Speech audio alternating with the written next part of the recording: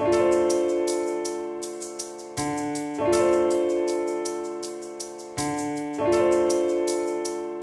Early Friday morning, the Turkish Air Force conducted airstrikes against ISIS positions within Syria's borders. It marks the first time Turkey, which shares its southern border with both Iraq and Syria, has attacked ISIS. A statement released by Turkey's Prime Minister's office says three F 16 fighter jets targeted two ISIS command posts and an assembly point. And while the attacks hit ISIS targets inside Syria, the jets themselves reportedly didn't violate Syrian airspace. The Prime Minister's office released another statement saying 251 suspected terrorists were taken into custody after raids inside Turkey. Some of these include members of the far-left Kurdish PKK organization. The raids and airstrikes come not even 24 hours after ISIS fighters killed a Turkish soldier in the first cross-border skirmish between the two sides. For Newsy, I'm Kate Grumke.